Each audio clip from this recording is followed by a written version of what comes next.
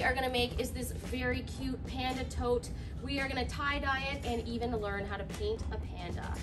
It is so cute. So go ahead, get inside your box. I'm gonna show you guys what you need. For this art project, you are going to need your yellow bag and the contents inside. We need some black paint, a dropper, a paintbrush, some elastics, your three colors of tie-dye, your tote bag, which is 100% cotton, which is really important for this project when you're using tie-dye. And I just have a container here of hot water. It doesn't have to be in a squeeze bottle. It can be a, in a cup. It can be in anything.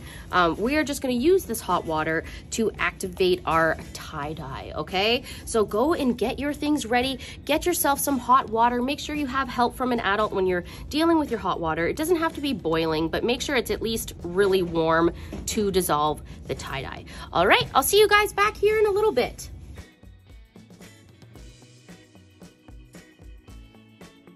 So this next step is very simple, but can be challenging. So this is the only part I think you may need a little bit of help, but we'll see. Just pull the tag off of your bag and get ready to fold it. It is time to fold up our bag. I'm gonna use a fan style where I go kind of um, back and forth, back and forth, like in a fan folding way, if you can see. If this is too difficult for you, you can just scrunch it up from one side to the other. You could do a bull bullseye design. There's so many different things you can do. I'm just kind of scrunching it up on the side, making a simple fan shape. All right, so here I am adding the elastics to keep it in place. If this is too difficult for you, you can ask an adult for help. I just kind of stretch the elastic open and fit all the fabric through the inside and twist it around to get it on. And I add elastics across the entire bag. You can it's add as many as you want. I added about six. Um, but you can add four, you can add three, whatever you would like. Just make sure they're on nice and tight. Go ahead, press pause, it's your turn. Now, this is a very important step. You're going to need to go and get your canvas bag completely wet. Run it under tap water until it's completely soaking wet and bring it back. Squeeze it out a tiny bit, but bring it back and put it on some sort of tray or baking sheet or large plate. Okay, go ahead, press pause and get ready to do that. Open up your tie dyes and get that warm water from earlier. If it's gotten cold, just go and get some new warm water. I'm just squirting some in to each color, filling it almost all the way to the top. We don't want to go too high and spill it everywhere, but we want to fill them to the top. The colors are going to be really dark and be careful, this stuff is going to stain your hands. So get some gloves if you'd like, or just be cautious and try not to rub your hands in it. All right, go ahead, press pause and make your tie-dye. Don't forget to mix them up.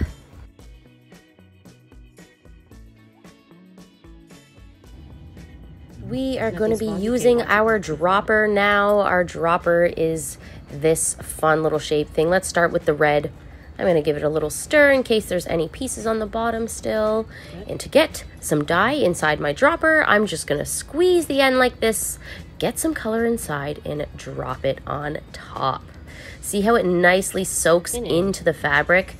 That's because our canvas bag is wet. So if yours is dry, make sure it's nice and wet throughout the process of your dyeing.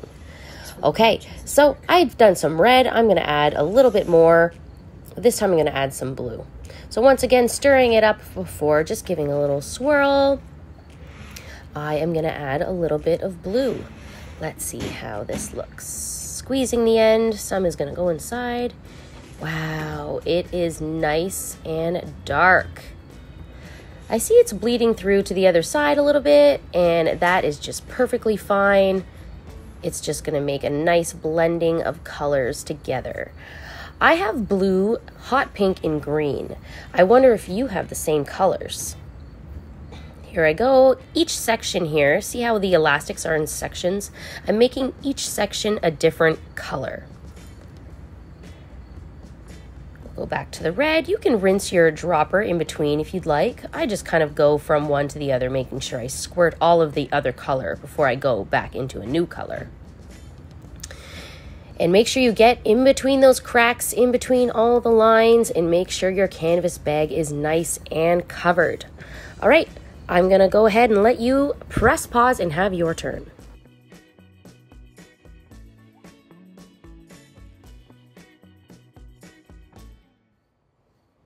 I'm going to make sure that everything is nice and covered. I'm even going to do the handles. All right, now that we are done, we are going to close up our tie-dye so we don't spill them. And you should definitely, definitely have some left over, which means that you can tie-dye your other things at home. So if you have like a stained shirt or a pillowcase or some socks, as long as it's made of cotton, you should be able to dye it and it will be really cool. Now I'm going to clean up my workspace a little bit just to have a nice clear space to open up my canvas bag. I suggest you do the same. Go put your tray in the sink, rinse it, and put down um, the same tray or another plate or a piece of paper, something to protect your table. All right, press pause and go ahead and do that.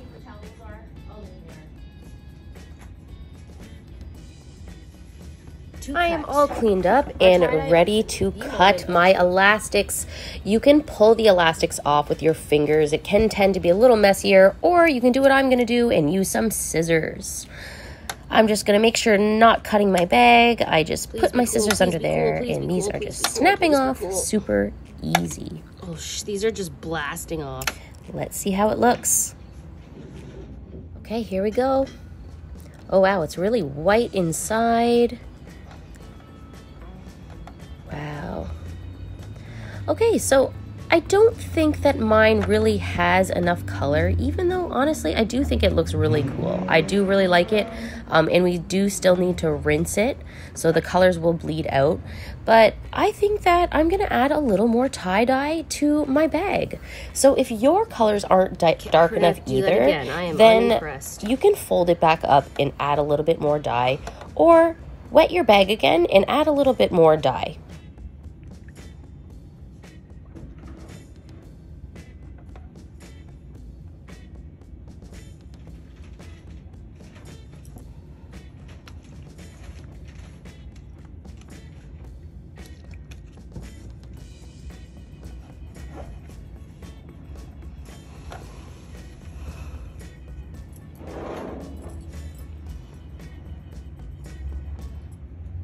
Okay, let's open this up.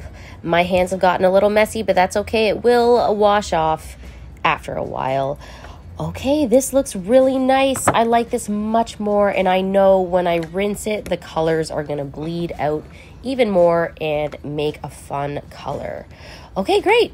So if you're done with yours, it's time to go rinse it in the sink, okay? Make My sure you're putting is... something underneath it or carrying your tray so you don't drip tie-dye all over your house, okay? Carefully bring it to a sink and rinse it out very good. Now that we have rinsed it, ta-da! I love it. It has the perfect splash of color and some stripes on it and I cannot wait to paint on it. But before we can paint, we have to go on a little trip and go on outside to let our bag dry. It is a warm sunny day out here, so I'm going to put it outside so that it can dry. If it is not a warm sunny day there, then just leave it somewhere to dry or you can use a hair dryer to speed up the process. Time to go and get your black paint ready. We are going to paint. For this next part, I'm using a bowl to trace a black circle with my black paint to make the shape of a panda's head. And then I've added two black ears and now I'm just gonna paint them in. So it's your turn. Go ahead, get your black paint and start with this basic shape. Press pause and do it just like I did. If your circle is not perfect, don't worry. Pandas' heads aren't actually a perfect circle shape, so it'll probably look more realistic. It's time to press pause and do yours. The next step, we are going to draw the panda eyes. First, we are going to do the round shapes that go around the panda's eyes. So let's start by making an 11, the number 11. Two lines directly next to each other, just like this, kind of at the top where the eyes would go. Now it's time to make a curved line coming out of each side. There we go. So mine kind of looks like a backwards D. I'm just kind of making like an arch from one end of the line to the other. Keep dipping your paintbrush back in the paint as you need it. It's best to flatten out your bag as much as you can if it is crumpled up still. It's going to be much easier to paint.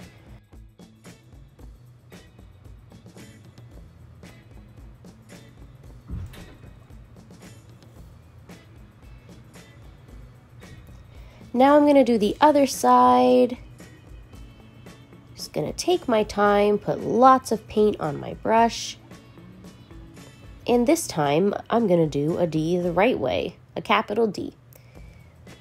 Once again, does not have to be a perfect shape. Every panda looks different.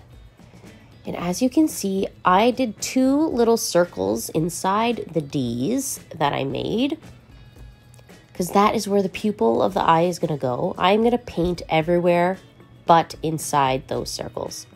So you can imagine the circles with your eyes, or you can draw them with a pencil to make sure you don't paint in them. But see how I'm just tracing around like this? Exactly. That is the inside of the panda's eye, and I'm just going to fill the rest in with some black. Do you think you can do that? If you'd like to watch again, just rewind a little bit and watch again. But I think you've got this. You can do your two panda eyes. All right, go ahead, press pause, and make your two panda eyes.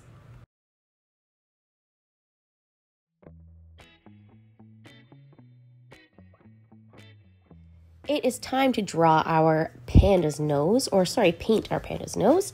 I'm just going to get a lot of paint on my brush and press my brush into the bag on each side like this, making a heart shape using my brush. If you don't want to make yours a heart shape and you want to make it a triangle shape or a circle shape or an oval shape, go ahead, be creative. This is the shape that I'm choosing to do, just a little heart. If your heart isn't working out, just do a little circle and it'll be great. And then underneath that heart, I just do a line coming down and a cute little panda smile, an arch going up each side. All right, go ahead and press pause. It's your turn to draw your panda's nose and mouth.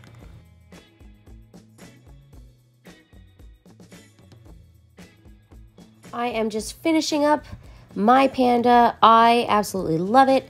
It is so fun. If you want to draw the same panda on the other side of your bag, go ahead, or you can even draw something different if you would like. I really like the way mine looks. Great job.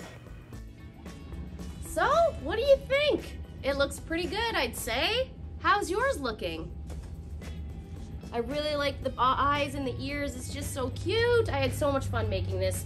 You guys, great job. I'm so proud of you, and I will see you again next time at the Art Lab in a Box. Bye!